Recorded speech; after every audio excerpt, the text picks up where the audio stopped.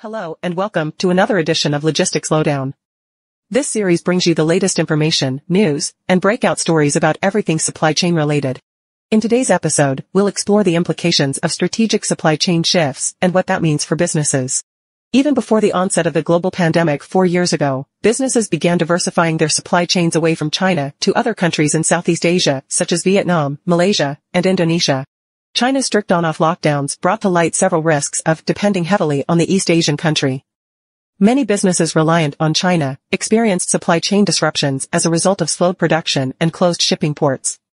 When the world's factory closed down, businesses began to explore other supply chain strategies, which included investing in nearby Southeast Asia.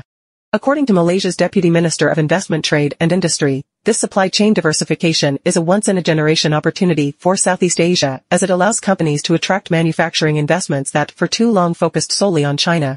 It seems as though the Malaysian minister's comments have come at an opportune time. In the past week, two companies have announced their plans to invest heavily in their logistics and supply chain capabilities in Southeast Asia. The first is cargo logistics giant DP World, which according to a statement made last week is working to significantly enhance capabilities by expanding upon its existing terminal business in Thailand, Vietnam, Indonesia, and the Philippines. The second is Cainiao, the logistics arm of Alibaba Group, which has announced new warehousing facilities in Indonesia as part of its regional expansion plans. With businesses actively shifting to a just-in-case model in order to establish resiliency along their supply chains, will we see more businesses looking for alternative cost-effective locations in Southeast Asia to store, ship, and fulfill their orders from in the near future? If you're an e-commerce retailer that manufactures in Asia Pacific, then you should ship with Floship.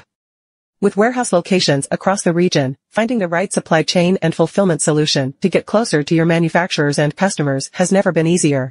Simply click the link in the description to get in touch with our team. That's all for this week's Logistics Lowdown. Before you go, don't forget to share your thoughts with us. Like, comment, and subscribe to our channel.